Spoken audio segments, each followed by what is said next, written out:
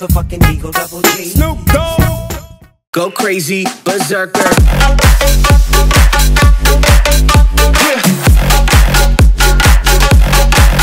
Show them.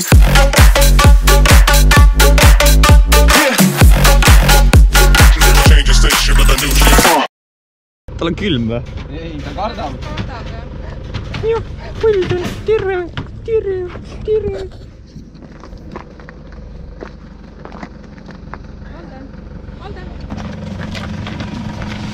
aa, siit me läbi ei saa ju. ei, sina ei saa kindlasti. oi vittu.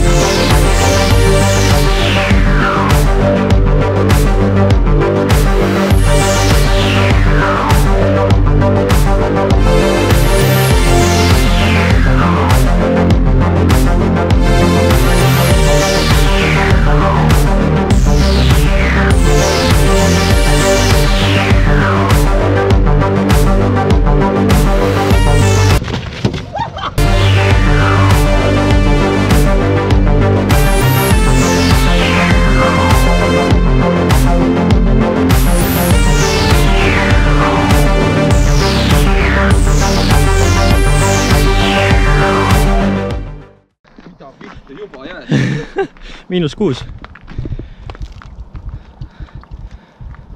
tihvrid jäävad kinni keskelt jah. vahekast ja käigukast, need ei ole kordagi isegi märjaks jälle saanud, aga tihver, mul oli tagutihver. siin ja kui ma siin olin, oli ka mul mingi nii palju osa ainult difrist ja see hoidis mind nii Jah. kinni. praegu on see ka, et see maa on vaata jää, jää, täiega nagu betoon ju, see ei lähe katki mitte kuidagi, aga mina mõtlesin just, et talvel igaveseks sõita, et maa pind nii kõva, et ei vaju kuskile ega midagi.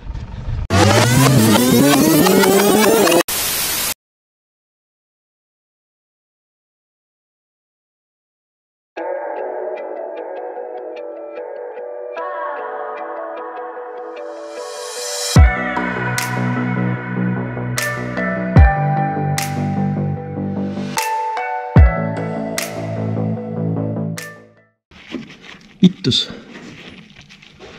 hakkas teiselt poolt järgi andma, lahti ei tule. Käib ringi lihtsalt niisama. sodi nii palju peale, et mutter ei liigu üles lihtsalt. Bolt andis teiselt poolt järgi nüüd peab mõtlema, mida teha ah..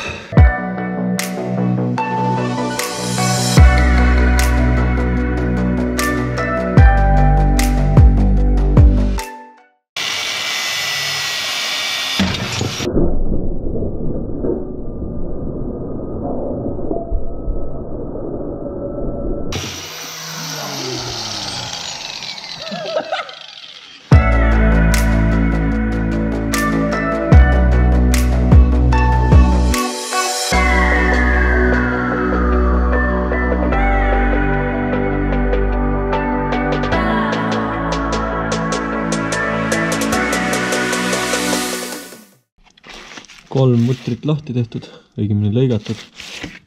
veits ohutumalt kui enne. jätsin siia väikse, väikse tüki alles, et vedru lahti ei lendaks.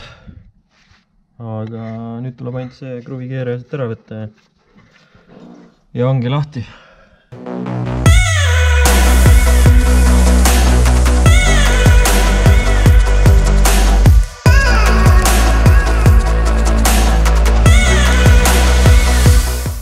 Proovisin siis sealt ülevalt äh, amordimutrit lahti saada, aga amort hakkas ringi liikuma ise siin sees.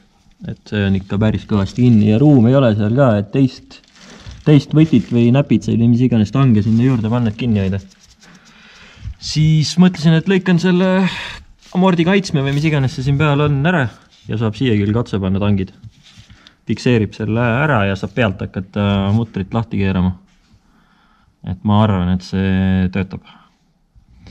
ja kui selle saab, selle saab lahti teha, siis tuleb amort ära ja, ja tõmbab vedru ka ära ja paneb uued, uued vedrud ja ja amordid alla, siis saab taguosa kinni ja ja saab võib-olla täna sõitma ka, õli sisse veel ju. aga eks paistab, kaugele jõuab. karmid sõnad või? Räiged karmid sõnad. tahaks seda tänast sõitu küll näha oma silmaga, äkki tõmb-, paneme tandemeid siin õhtul juba. sa vaata, et sa üldse oma E34 tööle saad, noh. see ei ole minu oma, see on meil kahe peale, talle anda, sulle anda. okei no pane siis meie auto tööle. ma panen meie autod tööle. tere, see vend ei saa mitte millegagi hakkama. aga jah. mõtleme, kuidas need vedrud ohutult välja saada, nii et surma ei saa.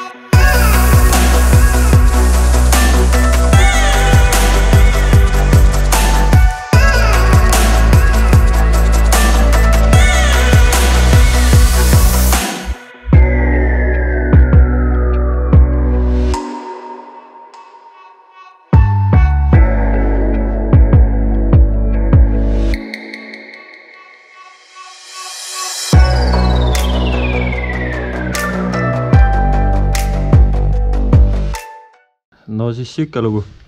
kaks bolti katki ja ilmselt siis ei lähe taha ka stabikat enam. putsis.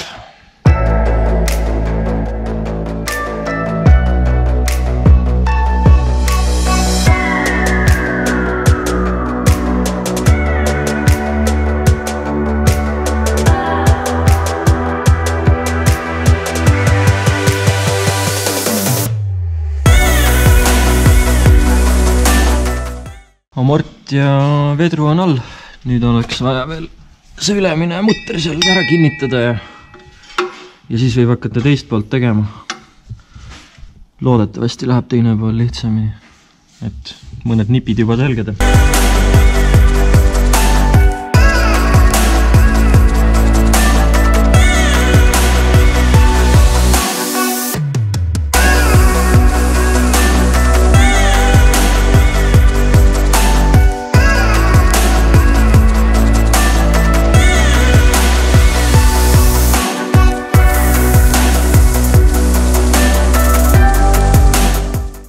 vot, vasak tagumine läks kaks korda kiiremini. mõtted juba selged, kuidas teisel pool asju teha ja siin läks asi jah, päris nii-öelda suht probleemivabalt.